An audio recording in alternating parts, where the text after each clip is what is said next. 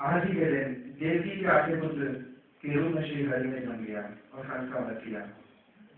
श्री हरि की जीवन लीलाओं का वर्णन आप सभी को मालूम है। श्री हरि ने पद पद पे धर्म का साथ दिया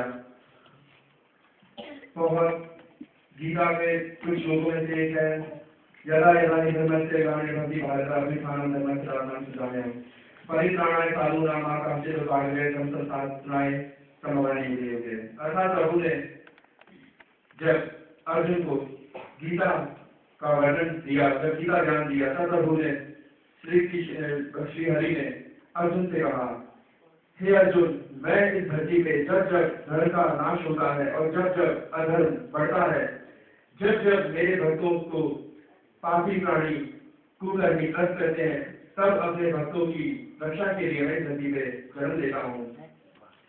कलयुग कलयुग में हमें प्रभु भक्ति की सबसे अधिक आवश्यकता है, क्योंकि कलयुग ही ऐसा युग है जिसमें सत्य हर तरफ़ दिन और दिन जिस प्रकार कलयुग का हर एक पल बढ़ता जा रहा है, सत्य और धर्म की हानि होती जा रही है। परंतु इसमें भी भय का कोई कारण नहीं है।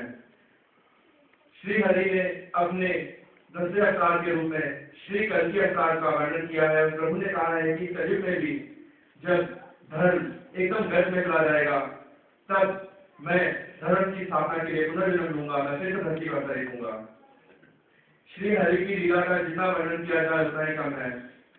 सुदामा, आप सभी को मालूम होंगे, सुदामा को हरि तारा।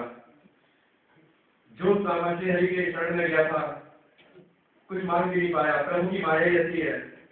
हम मांगे तो क्या मांगे प्रभु से? बिन मांगे प्रभु हमें सब कुछ दे देते हैं।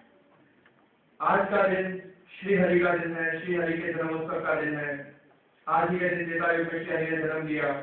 और आज ही के दिन श्री हरि का जो बीज मंत्र है, ओम ओम ओम, श्री हरि हरि, ओम, इसका जाप करने से समस्त प्राणी सभी प्रकार के व्यवधानों और कष्टों से मुक्त हो जाते हैं।